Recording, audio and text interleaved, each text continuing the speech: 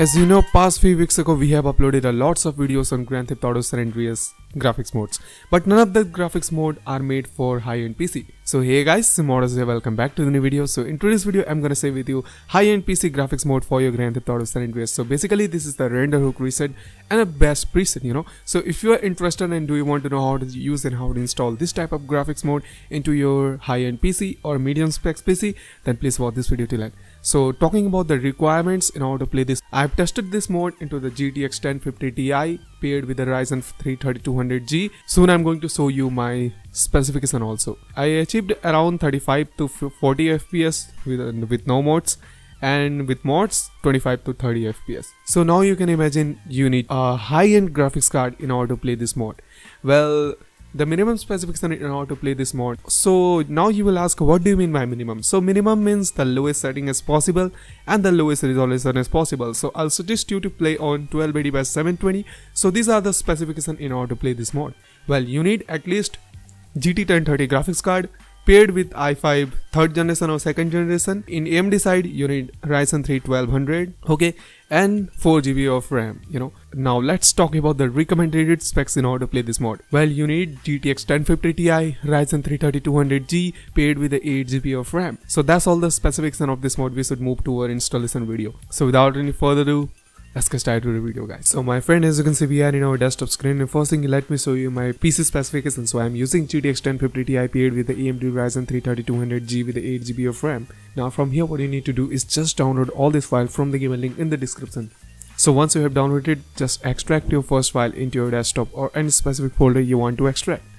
Now once your file has been extracted just open your game directory my friend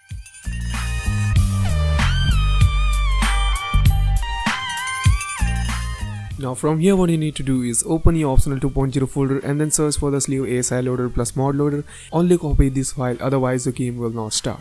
Now go back and open your widescreen fix. Just drag and drop all this file into your game directory except your mod updater.asi. Now run your ReShade setup. You need to turn on your internet. Now from here just click on gtsa.exe and then select your DirectX 9. Now do not select DirectX 10, 11, 12 or Vulkan otherwise your game will not start you know now connect to internet and it will download some effect. Now it's all depends on your internet connection how good it is. Now once you have installed your ReShade from here what you need to do is extract to main mod into your desktop or any specific folder you want to extract. Now once the file has been extracted just open your game directory and then from here what you need to do is just drag and drop all this file into your game directory now from here just run gtsa.exe and your game will start. Now as you can see there's an error GTSA requires at least DirectX 9. From here what you need to do is just delete d3d9.dll and run gts9ds.exe and your game will 100% start.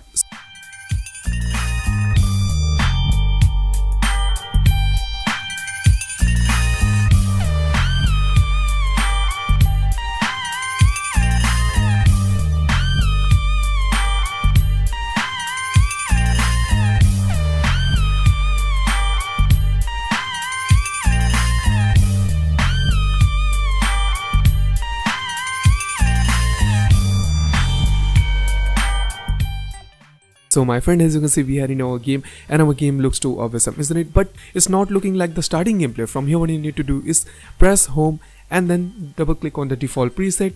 Just just scroll down and select the tbp.ini and then you're all done.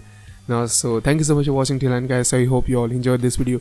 If you enjoyed this video then please make sure to leave a like on this video. To make one video it took a lot of time and and we have to give a lots of effort in order to make one video and if you appreciate your hard work then please make sure to subscribe to this channel.